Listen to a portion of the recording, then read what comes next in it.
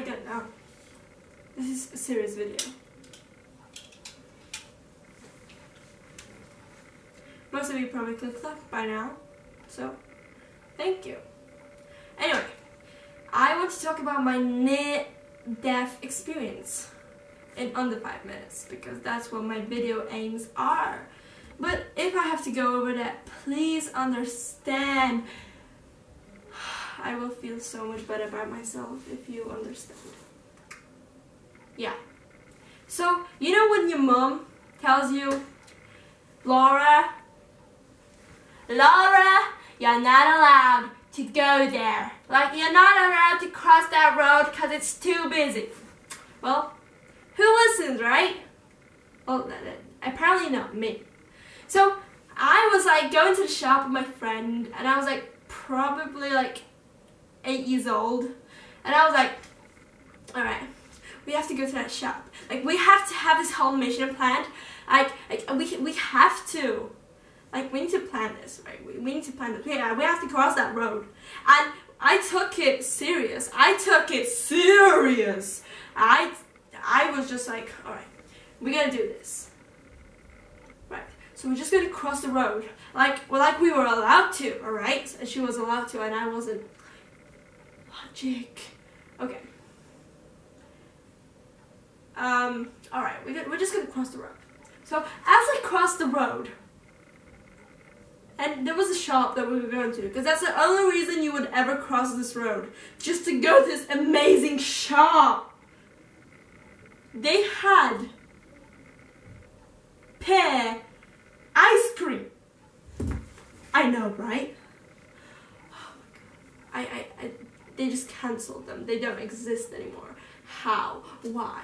Why does this not exist?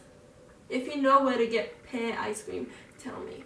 Alright, so as I wanted to walk into the shop, my sister, my 12 year old sister sees me. She's in the shop because she was allowed to because she was 12. And I wasn't allowed. So basically, I just ran through the busy road almost got run over by my neighbor. By my neighbor that I, was, I still didn't see. I still didn't talk to ever since because I was so scared to talk to them. And I think he was more bothered of getting his red, small, old car get wrecked than my health. I know I ran but I, I took my I took my life for it. I ran so hard that I thought I would die and that my oh my god that my lungs would just go ah! why did I just do that? Oh my god. I, I, I want to I, I don't know what I'm doing. So basically this is what happened and I feel bad about this and I think I need to call the neighbor and tell him I'm sorry.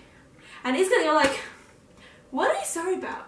Like, oh yeah, you know that thing that happened eight years ago? Yeah, that thing. Wait, what are you on about? Oh yeah, you know when I ran, when you almost ran me over? Um, yeah, yeah, oh my god, I will kill you! Um, I'm not. Wait, that was my sister. I'm gonna kill your sister, Brrr yeah, I feel like this is gonna happen. Anyway, guys, if you like this video and if you like my story time, please, please, please like and subscribe.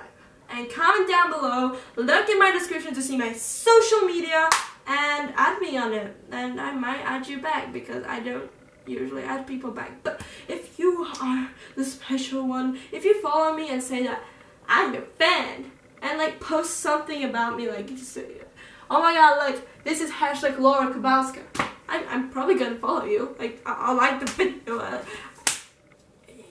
yeah. Anyway guys. Bye bye